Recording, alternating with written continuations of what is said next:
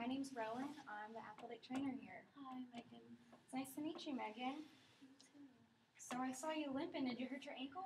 Yeah, um, I think I, like, I don't know what I did, something to it. It really hurts. Okay, well, I'm just going to ask you a few questions and go over some of your medical history, maybe do a few tests and try to figure out what's wrong, okay? Okay. Okay, so can you tell me what happened? Um, I was at basketball practice and I jumped up and I think I just came down wrong on it. Okay. Um, could you demonstrate with your right foot what happened? Um, yeah, when I was coming down, I kind of went in and over on it. Okay. Like my toes were kind of like pointed down a little bit, Okay. but I rolled on it. Okay. Have you ever had an ankle injury before? Um, yeah, I actually hurt this one last year. Um, What did you do? Um, they told me I had a second degree sprain, but I also fractured the outside of my ankle. Okay. Um, does this feel the same? Um, not really, like a little bit, but this one hurt like a lot more. So it feels similar but not as severe. Yeah. All right. Could you rate your pain on a scale of 1 to 10? Um, I'd say like 7.5 around there. Okay, that's still pretty high. Mm-hmm. So that's bothering you a lot. Yeah. Can you point with one finger where it hurts? Yeah, it's hurting like down here and like a little over there. Okay. It's a little bit towards the front and right below. Yeah, right below that bone out there. So does that pain stay in one spot? Does it radiate anywhere else? Um, it's pretty much down there, but the muscles on the outside of my leg are a little sore. Oh, okay. So could you describe the pain for me? Um, is it sharp or tingly? Um, it's kind of like pulsating a little bit uh, if I like let it hang down. Or, So it's throbbing? yeah, and Okay. then if I like try to put any pressure on it, uh, it's pretty sharp. So that sharp pain is right where you're pointing before? Yeah. All right. So is there anything you do that makes it feel better? Uh, I tried icing it a little bit. I mean, it helped for a little bit, and then it went back to being painful. Okay, so no noticeable change really. Not really, no. Um, is there anything that you do that's been making it feel worse, or is anything hard to do day to day? Um, trying to walk on it is just not happening at all right now. Um, and I can't wear my shoes because my foot is too swollen. Yeah, your foot does look significantly bigger than the other one. Did you say this happened yesterday? Yeah, Okay, and you were at practice or game? at practice. Practice, all yeah. right. These are about the only shoes I can get on. The other ones I can't tie the laces up. Did you hear a pop when you injured it? Yeah, just before um, my ankle kind of like touched the ground a little bit on the Oh, so you rolled it and you made contact with the ground, a little bit, yeah, Okay. I think so. but you heard the pop before? Yeah.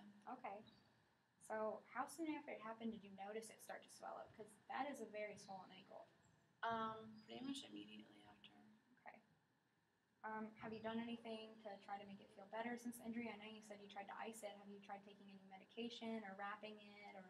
Um, I took a bit of ibuprofen and it kind of helped for a little bit, but then the pain came back. Okay, so again, no, so no real noticeable difference. Not really. All right. Have you noticed any change in your pain since yesterday and today? Has it gone down or gotten worse? It's just really achy. Yeah. Sore? Yeah, it's still really painful. Okay. Um, I know you can't put on regular shoes right now, but what type of shoes were you wearing when it happened? I have my basketball shoes on. They're high tops. So they're full ankle coverage? Yeah. Were they relatively newer or had you had them for a while? No, we uh, team has got new shoes actually not too long ago. Oh, so okay. They're pretty new. So you're still breaking them in? Yeah. Okay, thank you. So for my observation, um, I would perform some special tests such as the anterior drawer and the talar tilt test um, to determine which ligaments had been injured. I would also have Megan perform certain actions like dorsiflexion, plantar flexion, inversion, and eversion on her own, and resistive, and that would just be to test um, how painful certain movements are and to see if there's any issue with the muscle. And also, I would palpate the area to see if there were any deformities, like if I could feel a bone or if I could feel an obvious divot where the ligament was. So So, from what you've been telling me and the pain you've been having, I suspect that you have an ankle sprain. I think you have damaged your ATF and your CF, the ligament right here and down here. Um, I don't know the grade of your sprain, so I'm going to order an MRI so we can figure that out, but I suspect it's either grade 2 or 3. And I would really also like you to get an x ray to rule out fracture. So, I am going to refer you to the team doctor for that. Um, do you have any questions for me? Um, what exactly do you mean by the grades? So there's three grades of sprains. There's grade one, two, and three. With the grade one ankle sprain, um, you basically just overstretched the ligament, so it's going to cause some discomfort, some mild swelling, but the recovery is not too serious. With a grade two, you have torn the ligament, but it's not all the way through. It's just a partial tear. And then with a grade three, you've completely torn the ligament. Um, but the pain you're telling me, it does indicate probably it's grade two or three. Okay. So do you have any short-term goals? Um, just a decrease of pain is really sore. Yeah. Okay. And your long-term goals? Uh, walking, get back out, playing again on the court. Okay. Sounds good to me. So today we're just going to do a few things before you leave. Um, nothing serious since this injury is so fresh.